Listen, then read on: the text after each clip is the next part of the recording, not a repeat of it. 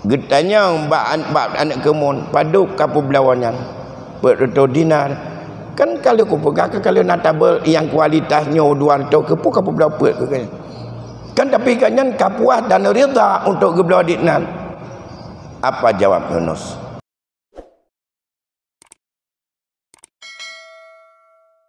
yang pernah diceritakan oleh Imam Al-Ghazali dalam kitab Ihya'nya yang dikutip oleh Said Kutub dalam kitab uh, dalam tafsir Ad-Dilal Quran apa kata beliau?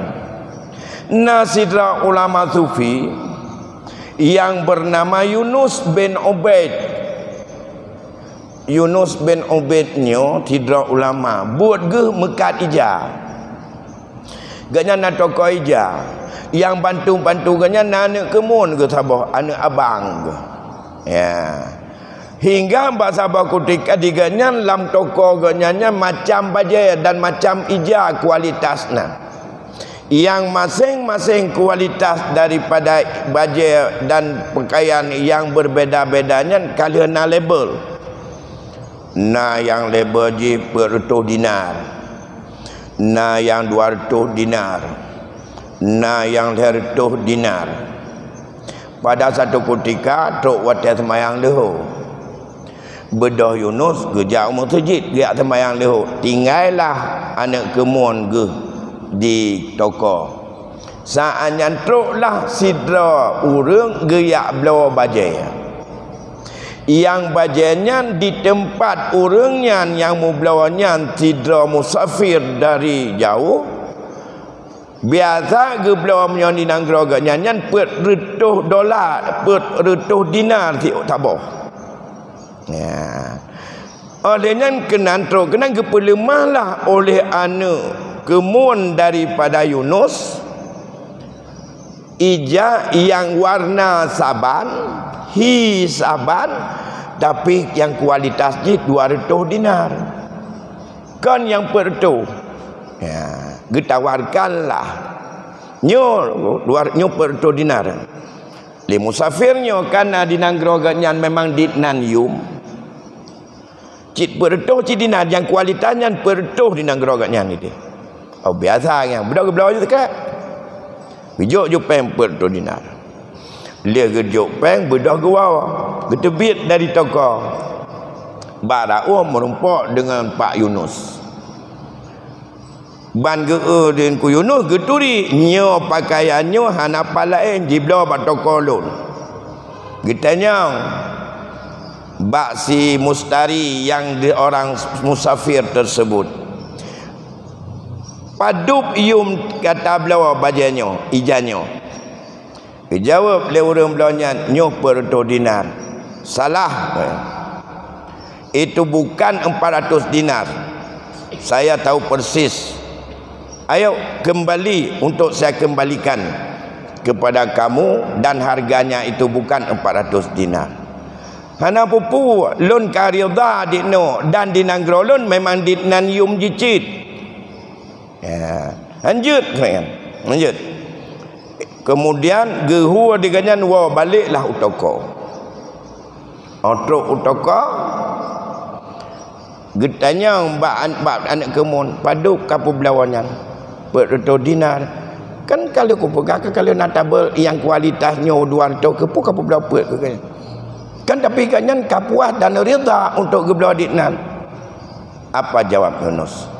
Rida dengan 200 dinar yang kamu ambil di dunia itu kecil sekali dibandingkan apa yang harus saya tanggung di hadapan Allah nanti.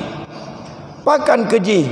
Pun sebabnya keji lempu belah 200 dinar per tuh Padahal ini pasarannya untuk 200. Saya tidak akan mau untuk bahawa benda ini dibeli oleh dia 400 dinar dan ambil 200 dinar ke kembalikan peng ke nyancok barang nak wa. Gudutlah ana. Coba kamu rasakan bagaimana perasaan andai kamu dan andai kata kamu yang dilakukan seperti itu.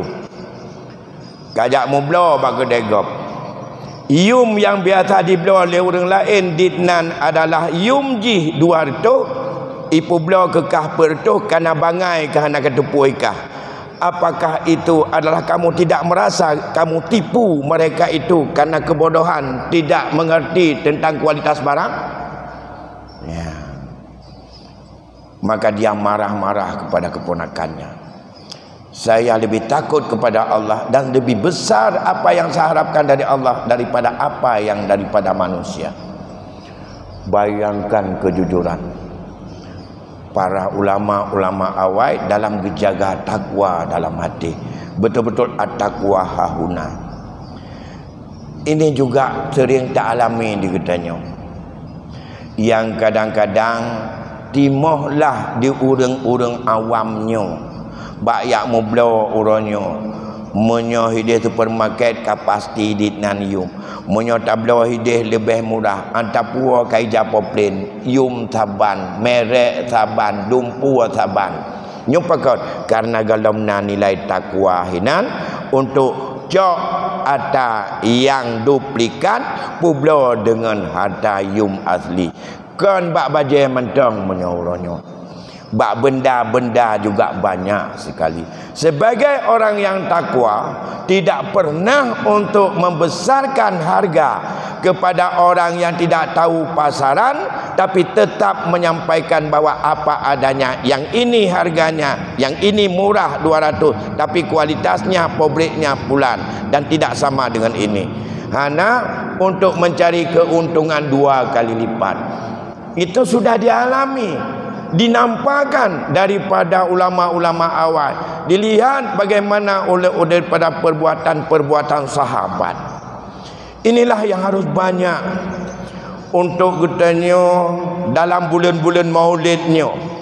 Dengan bagaimana Nabi untuk geberi istafet akhlak kepada para sahabatnya. Yang atanya betruk bagi getanya tidak dalam ibadah tapi dalam muamalah juga andai kata uronyo musim jih saban mandum.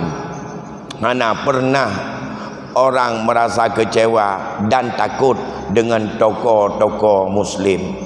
Orangnya tokoh-tokoh menyatakan negara dino menyatakan bak sualayan di luar supermarket Menulis Pak Silap Harga Limang Limang rutuh ribu Nyan menyahana dalam kaya kurung tajak lagi yang menulis nyan. Nyan menyah tajak lain Metemeng lima umbah silap Lima rutuh ribu yang menulis Datanya Nyuk padu Rupanya ayam tertutup ribu Perutuh je perkurung Dari yang menulis Sama dengan tulisannya dia man Bedanya terjadi pertemuan market. Nyan ban ke pasar terjadi orangnya. Tak ada dapat supermarket. Indomie. Limau. Ribai. Dua ribai ya. Menulis satu. Nyan rencana yang laki kurang laki lima ratus ke dia bakasir itu. Hai labut. Nyan kapasti etnan yum. Jadi jino tanpa truk kenan dibedakan pasar. Sebenarnya tak perlu dibedakan. Menya memang yum je tulis lima ratus publa tertutup. Untuk apa tulis? Yang akan menjebakkan orang-orang bodoh. Yang tidak tahu pasaran. Sehingga terjadilah kurang percaya. Bagi yang pada ina orang nampak ina. Budak gak mitai lah yum. Guna budak tidak pihak tamang lah. Dua puluh buah kedai baru pah. Apa kan ini menulis lagi lima ratus. Tapi yum tertutup. Pakai ini lima ratus tulis anak kurang-kurang jual lima ratus. Yang tu asli susah. Sebenarnya menyapraktek sesungguhnya menyokat tulis lima ratus lima ratus. Orang bangai, orang carong tidak ada korban. Dan itu sebagai orang yang takwa. Putu jangan tulis raya. Tujuan memang dia pun tertentu. Keput tulis raya, yum lima ratus tulis dia pun tertentu. Putu tujuan.